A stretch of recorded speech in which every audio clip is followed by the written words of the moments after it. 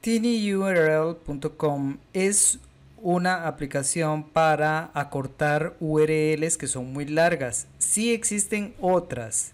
Por ejemplo, si uno escribe en Google acortar URL, aparecen muchas opciones como estas, estas, estas. Todas funcionan parecido, pero lo que yo he observado es que estas aplicaciones funcionan, pero en cierto momento, en vez de tirar a la página que uno quiere, envían a un anuncio y entonces la gente se siente confundida, que salen y vuelven y ya entonces sí van a la página.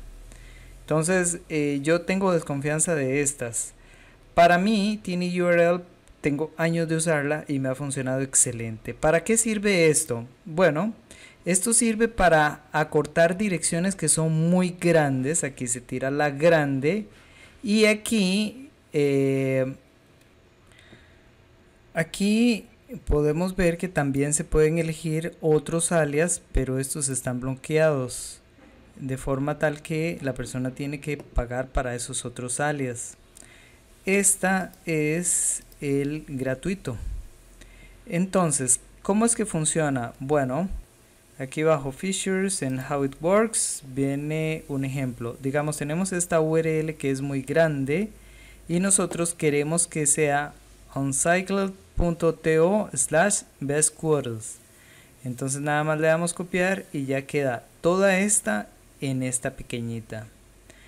Ellos ofrecen algunos planes. Eh, esto lo cambiaron desde la última vez que yo lo visité. Así es que ahora ofrecen gratuitas pro y en grupos yo siempre he usado la opción gratuita esta es permanentemente gratis por aquí dice que es gratis y soportada por anuncios. No sé qué significa esto ahora. Si significará que ahora le meten anuncios de vez en cuando a los links. En tal caso yo buscaría otra herramienta. Como las que hay un montón de otras herramientas que nunca meten anuncios. Pero hasta el momento con TinyURL nunca han metido anuncios eh, y podría ser que los anuncios estén acá en la página principal como lo vemos aquí. En tal caso no hay ningún problema. Pero cómo funciona veámoslo. Digamos que usted tiene un formulario con preguntas y que usted lo va a compartir con las personas. Entonces se viene aquí a enviar y esto le dice compartir este es el link es muy grande Inclusive si le damos a abreviar, nos va a dar un link que las personas difícilmente pueden copiar. Si usted tiene que copiar esto en una pizarra para que los alumnos entren es súper difícil. Y muchas veces me ha ocurrido que yo tengo que copiar un formulario, el link de un formulario en la pizarra para que los alumnos entren, porque no tengo un grupo de WhatsApp ni nada así por el estilo para hacerlo. Entonces, ¿qué hacemos nosotros? Copiamos este, nos venimos aquí a TinyURL, pegamos, ya sea, ya sea este de aquí o el largo. Cualquiera de los dos va a funcionar igual. De hecho, hagámoslo con el largo. Ok, me vengo acá y lo sustituyo. Este es el largo. Y ahora quiero que diga como título, va a decir algo así como cursos libres. Cursos libres UNED voy a dejar todo en minúscula todo, todo, la URL, cursos libres UNED. Inclusive podría dejar algo más pequeño, como simplemente cursos, pero estoy seguro que solamente cursos ya está tomado por alguien, entonces no me lo va a permitir. Veamos solo cursos. Clic, dice alias no disponible. Podría agregarle algo así como cursos 2021 y es probable que sí esté disponible. O cursos libres UNED y ese es fijo que está libre. Veamos. Muy bien. Este está disponible. Ahora mi dirección es tinyurl.com slash cursos libres unet. En vez de toda esta. Inclusive podemos probarlo. Nada más venimos aquí y escribimos tinyurl.com cursos libres unet. Le doy enter y de inmediato me dirige al formulario. ¿Ven cómo funciona? Esto es súper útil.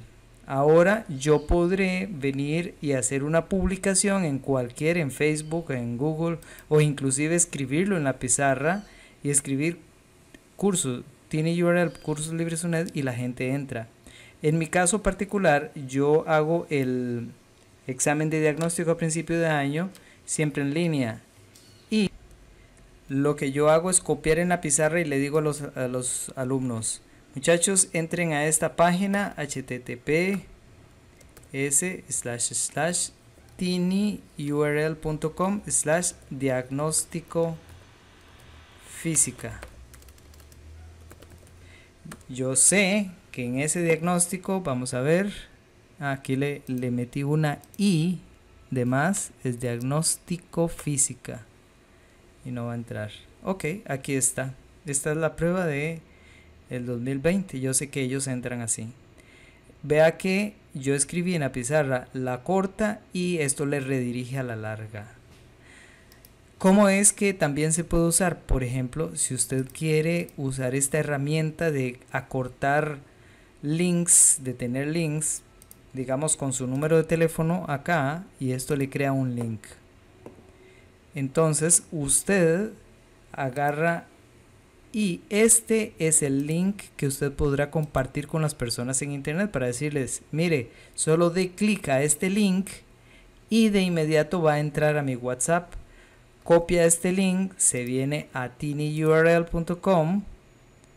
Bueno, vamos a refrescar aquí.